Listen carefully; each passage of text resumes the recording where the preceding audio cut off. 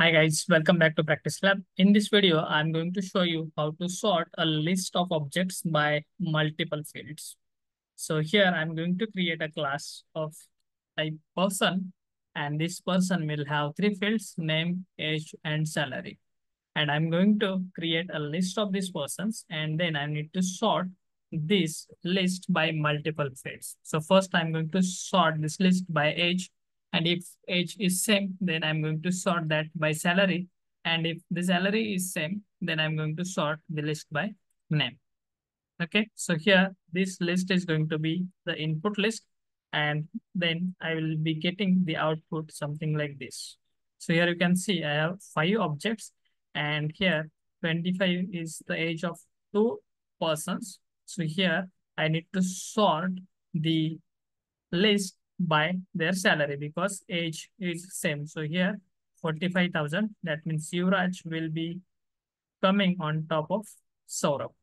Okay, so first I will get the Yuvraj and then I will get the Saurabh because both persons are having same age. So I need to sort the employee by their salary. And if the employee is having same age, then I need to go for salary. And if the salary is also same, then I need to go for name. So here you can see Rahul and Sachin both are having age as 30 and salary as 45,000. So I'll go and sort this by name. So you can see Rahul has came before Sachin. So this is the sorting order. Okay, so I need to print output in this fashion. So let's get started and let me show you how to do this. So here, as mentioned, I'm going to create a class person and this person will have three parameters or three fields, name, age, and salary. Now let me create the constructor, getter, setter, and a toString function. So here I'm going to use source generate getter setters. I'll select all the fields and click on OK. So this will give me the getter setters. Then I'll create constructor. Same way, I will go to source and click on generate constructor using fields. I will click on OK.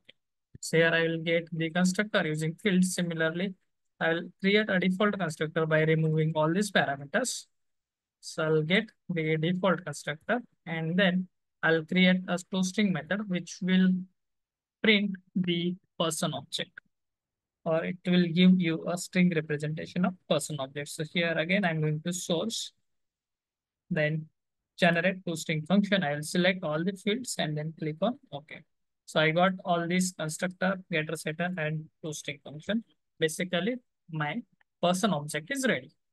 Next thing is I need to create the list of persons. So here I'm going to use list from java.util and this list is going to hold all the persons. So I'm going to use list of persons.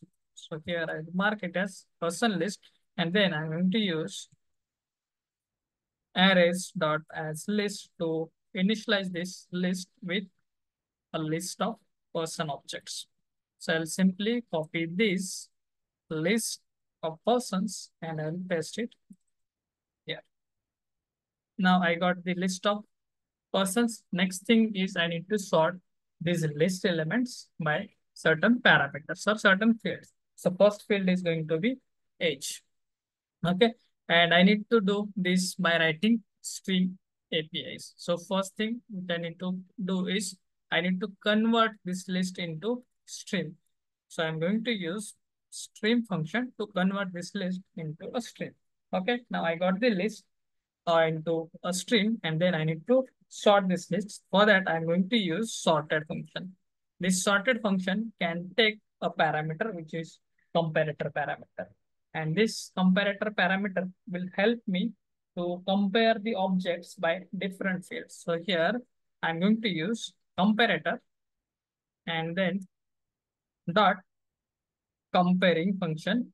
This comparing function takes a parameter which by which you need to sort or compare the objects. So here I need to compare the objects by age. So I'm going to use person dot get age.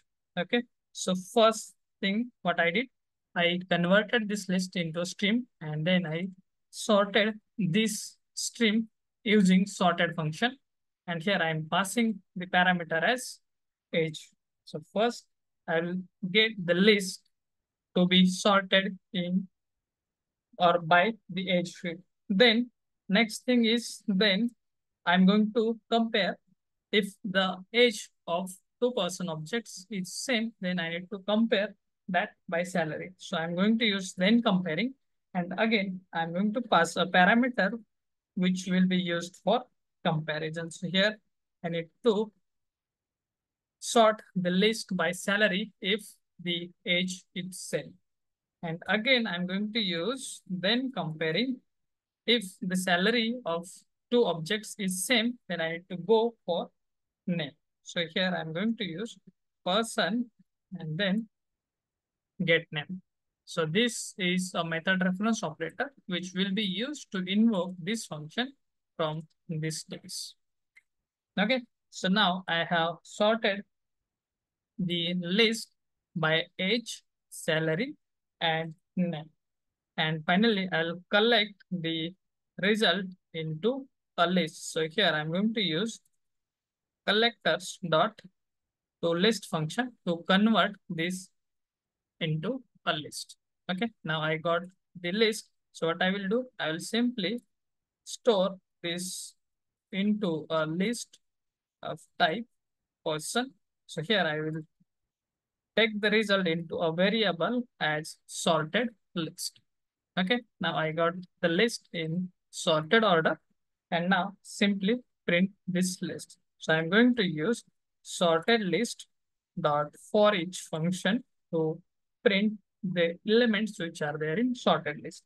So here I'm going to use system dot out and then print ln. So this will print the elements which are available inside this sorted list. So here S is capital.